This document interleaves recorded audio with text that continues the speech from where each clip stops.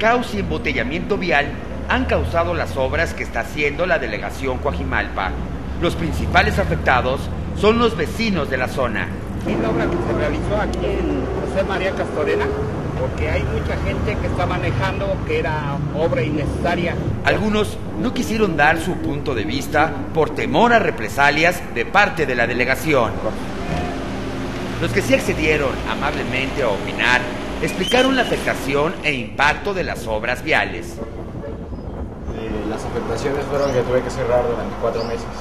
No podía abrir, perdí en animales y en venta de accesorios, y clientes. Porque muchos vecinos estuvieron en contra, sobre todo más allá arriba donde hay más comercio. La gente protestó para no, no abrir la calle. El tráfico ahora ya es demasiado, en la, en la calle de allá arriba que también está preparado el tráfico aquí es mayor, pues todo el día es un caos.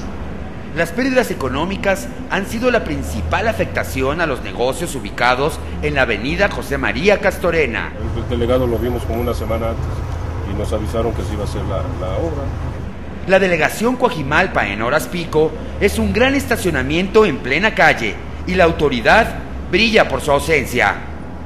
Eh, diario hay tráfico para llegar a nuestro trabajo. Yo soy maestra de aquí de la Academia de Espino Suárez. Diario este, el tráfico se nos complica, con los niños también. Los jefes de manzana solicitamos al señor delegado que los vecinos afectados sean recibidos y escuchados y las obras en la avenida Castorena sean agilizadas y terminadas cuanto antes.